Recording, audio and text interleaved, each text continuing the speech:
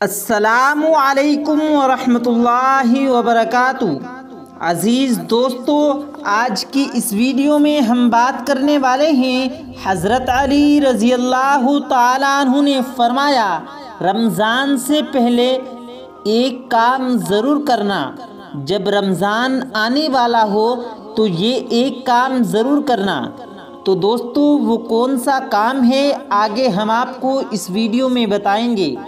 और दोस्तों, इसके साथ साथ हम आपको ये भी बताएँगे कि रात में कुत्ते क्यों रोते हैं? और कुत्ते के रोने से क्या होता है? और क्या कुत्ते के रोने से किसी की मौत हो जाती है? तो दोस्तों, बहुत ही प्यारी वीडियो होने वाली है। आप लोगों से गुजारिश है, आप लोग इस वीडियो को आखिर तक ज़रूर देखें। वीडियो शुरू करने से पहले, अगर आप हमारे यूट्यूब चैनल पर नए आए हैं तो हमारे यूट्यूब चैनल को सब्सक्राइब करके बेल आइकन ज़रूर दबा दें।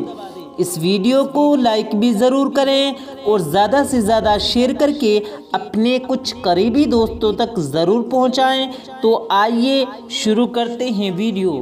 तो दोस्तों, रमज़ान से पहले कौन सा एक काम करना ज़रूरी है, आइए हम आपको बताते हैं।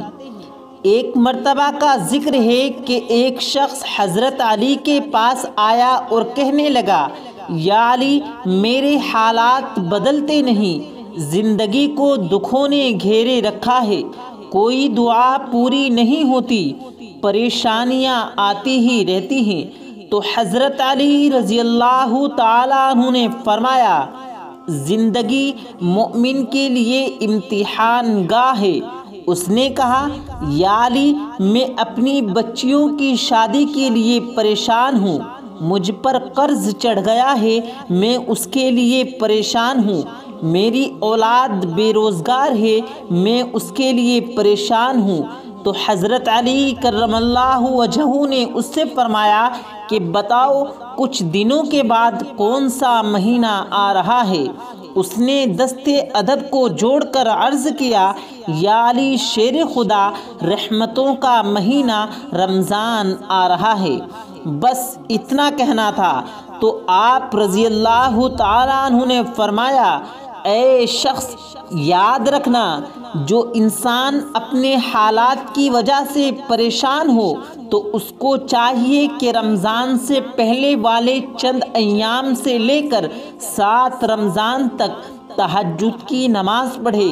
और फजर से पहले ईया का नाबुदू व ईया का नस्तीन 207 मरतबा पढ़े।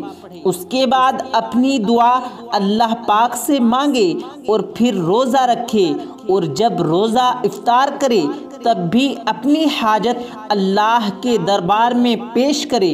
अल्लाह के करम से चंद ही वक्त में तुम्हारे हालात बदल जाएँगे। दोस्तों, अब हम आपको बताते हैं कि रात में कुत्ते क्यों रोते हैं और कुत्ते के रोने से क्या होता है। दोस्तों, आजकल हम सब लोग देखते हैं कि कुत्ते रात में ज़्यादातर भोंकते हैं और ख़ासकर फजर के वक्त, और हम सोचते हैं, ये कुत्ता क्यों रो रहा है। ज़्यादातर आवाम में ये बातें चलती हैं कि जब जब कुत्ता रोता है तो उस इलाके में किसी की मौत हो जाती है। लेकिन ये बात कहाँ तक दुरुस्त है, ये जान लेते हैं। दोस्तों, अल्लाह रब्बुल इज़्ज़त ने कुत्तों को ऐसी ताकत दी है जो हम इंसानों के पास नहीं है, जबकि अल्लाह रब्बुल इज़्ज़त ने मुसलमानों को अशरफुल मखलूक़ात, यानी तमाम मखलूक़ों में सबसे बेहतर बनाया है। अब बात करते हैं कि क्या कुत्ते के रोने से किसी की मौत हो जाती है या नहीं। तो दोस्तों, ऐसा कुछ भी नहीं है। कुत्ते के रोने से किसी की मौत नहीं होती। हाँ ये बात ज़रूर है कि जब कब्र में इंसान के ऊपर अजाब हो रहा होता है उसकी चीखों पुकार सुनकर कुत्ता रोता है, क्योंकि कब्र में जो इंसान के ऊपर अजाब हो रहा होता है, उसे इंसान सुन नहीं पाता, जबकि कुत्तों के पास वो ताकत है, वो उस अजाब को सुन लेते हैं। वो कब्र के अजाब की चीखों पुकार सुनकर रोना शुरू कर देते हैं। अब हम बात करते हैं कि कुत्ता फजर के वक्त क्यों रोता है। आपने देखा होगा कि कुत्ता रात में तो रोता ही है, लेकिन फजर के वक्त भी बहुत ज़्यादा रोता है।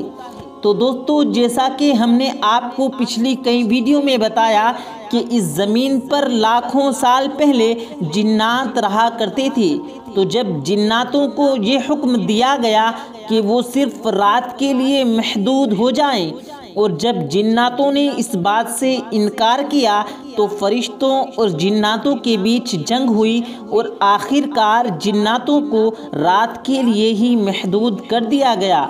जब फजर के वक्त होता है तो जिन्नात जहाँ जहाँ आराम कर रहे होते हैं, वहाँ से अंधेरे की तरफ़ भागना शुरू कर देते हैं और मिट्टी में छिपने लग जाते हैं, जिसे देखकर कुत्ता अजीब कैफियत में रोने लग जाता है।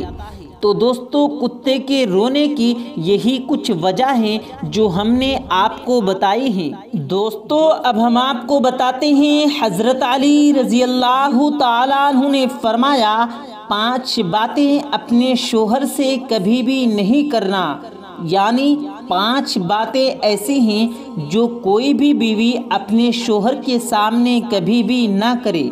तो वो पाँच बातें कौन कौन सी हैं? आइए हम आपको बताते हैं। एक मर्तबा एक औरत हज़रत अली रज़ी अल्लाह तु की खिदमत में आई और कहने लगी याली मेरा शोहर मुझसे मोहब्बत नहीं करता, मैं क्या करूँ? तो हज़रत अली रज़ी अल्लाह तु ने उस औरत को ये पाँच बातें बताई और फरमाया कि इन पाँच बातों को अपने शोहर के सामने कभी भी न करना। नंबर एक, शोहर के वालिदेन की बुराई कभी भी मत करना। दोस्तों, हज़रत अली ने फरमाया कि इस बात का हमेशा ख्याल रखना कि कभी भी अपने शोहर के सामने या फिर उसके पीछे उसके वालदेन, यानी माँ बाप और बहन भाई की बुराई मत करना। अगर तुम ऐसा करोगी तो तुम्हारे शोहर के दिल से तुम्हारी मोहब्बत ख़त्म हो जाएगी। नंबर दो गैर मर्द की तारीफ़ कभी भी मत करना।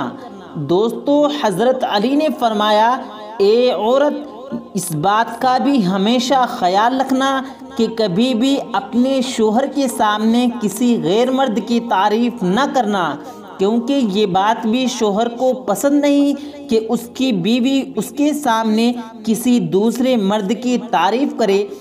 और कभी भी कोई ऐसी बात न करना जिससे शोहर के दिल में शक पैदा हो। अगर तुम ऐसा करोगी तो शोहर के दिल से तुम्हारी मोहब्बत ख़त्म हो जाएगी। नंबर तीन, अपनी आवाज़ को बुलंद न करना। हज़रत अली ने फरमाया, ए औरत, इस बात का भी हमेशा ख्याल रखना कि कभी भी अपने शोहर के सामने अपनी आवाज़ को बुलंद मत करना।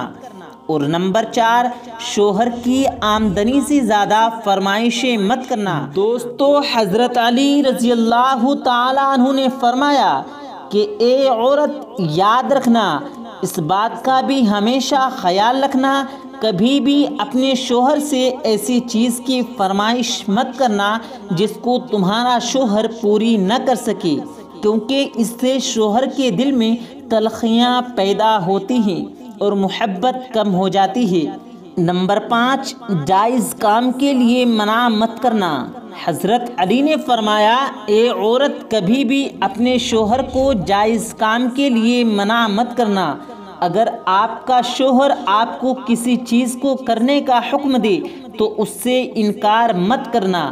ए औरत, याद रखना, अगर तुम चाहती हो कि तुम्हारा शोहर तुमसे मोहब्बत करे तो इन पाँच बातों का ख्याल ज़रूर रखना। इन पाँच बातों को अपने शोहर के सामने कभी भी न करना। तो दोस्तों, उम्मीद करते हैं आपको आज की हमारी ये वीडियो पसंद आई होगी। वीडियो पसंद आया हो तो वीडियो को दिल से लाइक करें और ज़्यादा से ज़्यादा लोगों तक इस वीडियो को सवाब की नीयत से शेयर करें। और अगर आपने हमारे चैनल को अभी तक सब्सक्राइब नहीं किया, चैनल को ज़रूर सब्सक्राइब कर लें। मिलते हैं फिर एक नई वीडियो के साथ। तब तक के लिए अल्लाह हाफिज़।